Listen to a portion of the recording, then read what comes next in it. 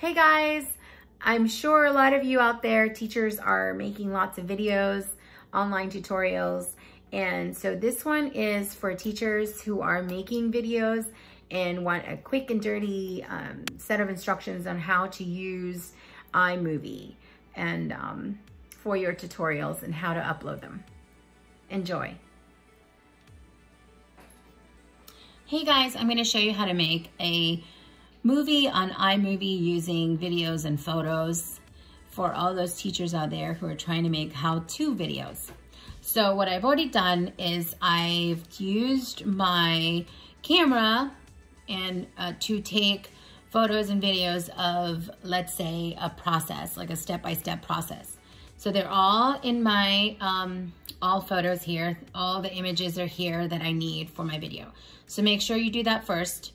Um, now I'm gonna click on iMovie and I'm gonna press um, new project and I won't go to trailer, I'll go to movie.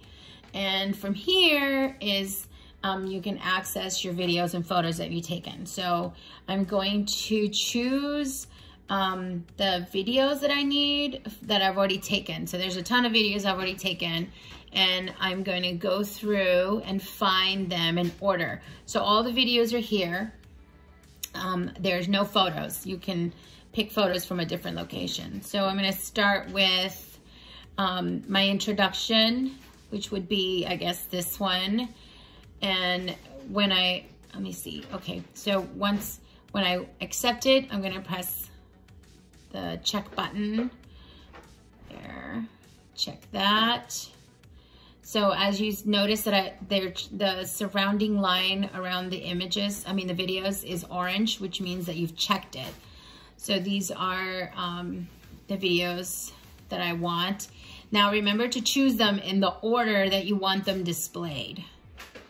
One really important thing to remember is when you're videotaping these things, if you make a mistake in any way, erase the mistake right away. So when you have access to all your videos, you will not by mistake choose the one that was an error.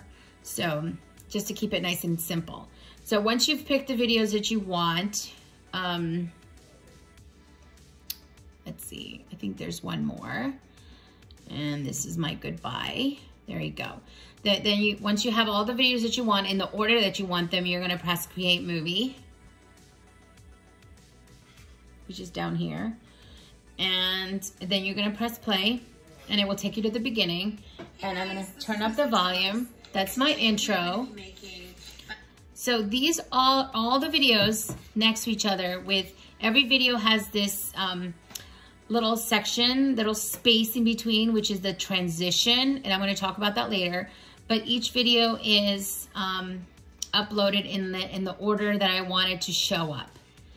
All right, great. So here we go. Now, what I like to do in front, the beginning of my videos is put an intro page. And I've already created that on a, um, on a different app called PhotoGrid on my phone. And what it does is just puts words um, on top of an image. So, and I've uploaded that here. So I'm gonna go to photos and all and find the cover photo that I use for all my videos. And here it is. And you see this little plus sign and boom, it puts it right in front. So now I have the intro pay, the intro image. Um, I don't like this uh, effect of Ken Burns effect. You see when you run the video, it moves the image and it's called Ken Burns effect. If you don't want that, you click on it so that it's yellow and you hear you click it off and now it's just the image without it moving. And I, I actually prefer that. I mean, you might want it a different way. Now, um, so I have my intro page. I show how we're gonna do these this project. And then at the end, um, let's see. Ooh, this is actually a different image. All right, never mind. So that's okay. Um, it, this is just for demonstration purposes anyway. But at the end, I also like to add that image. So I will go ahead and uh, get this line to there, go to that same image and press plus and it will plunk it in at the end. now I'm gonna go to uh, doing audio and I'm gonna go to the beginning and I'm gonna go to um, media. I'm sorry, I'm gonna go here to audio and I like to go to soundtracks and you can download these soundtracks. I always stick with the same one all the time and I pick anythings and I press plus. Now what it does is you see this line at the bottom, that is the sound area. So you any so anythings is the name of the song, whatever. And I want you to hear what it sounds like.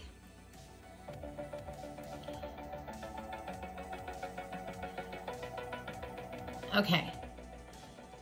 So as you notice, the the music is still going on as I'm speaking. And if you don't want that, you're gonna put this where you want it to switch. You're gonna click on the sound part and press actions, which is this little scissor, and then press split. And what it does is it splits the sound into two so that you're easily able to change the volume here. So you press volume, and while I'm, when I start talking, I want the volume of the music to go down. And the volume here, when it starts, I want it to be high. So let's see what that looks like. Go back. And so, and it should quiet down the minute I get on. See, there's no music. You, that means some people might also want a little bit of music while you're talking and you tap, you just test it.